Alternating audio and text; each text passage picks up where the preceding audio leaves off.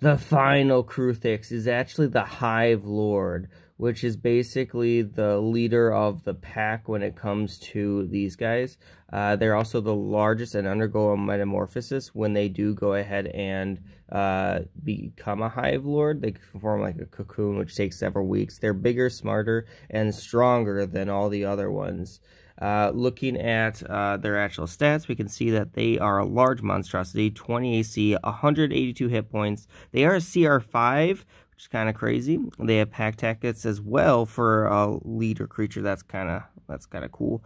Uh, they also have 10 foot of tunneling speed, double that of the adult. So, and then they also have uh, stab attack, which is 1d8, and then they also the same spikes, but they also gain a fun little ability known as Acid Splash, which or spray, which does a 22 damage average, which is kind of crazy. Yeah, kind of